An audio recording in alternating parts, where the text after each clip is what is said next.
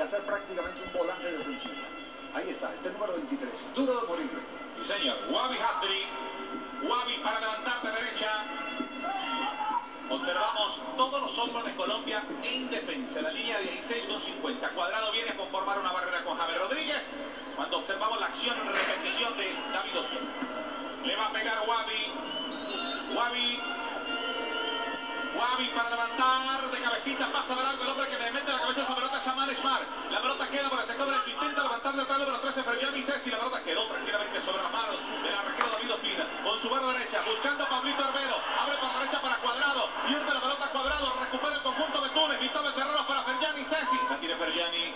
Abre y el balón tranquilamente va al área del equipo de Colombia. La tiene Santiago Arias. Y este es el gol que recorre.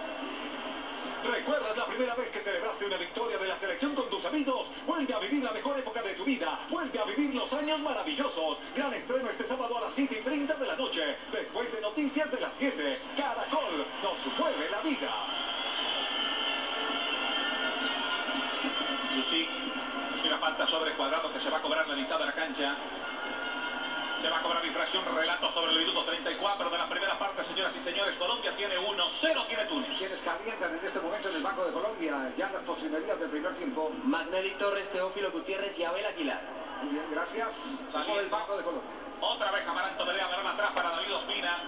Va a despachar el arquero de Colombia con su pierna zurda. Viene buscando al de Ramírez. Entrega mal, gana Miquel. Miquel abriendo. Cerca para levantar la pelota. Está esperando a Isan Yomar. A Ismael Yomar saliendo. Lo trata David Ospina. Se fue en blanco. Le quedó con pierna derecha. Número 23. ¡Gol, Guavi! ¡Gol!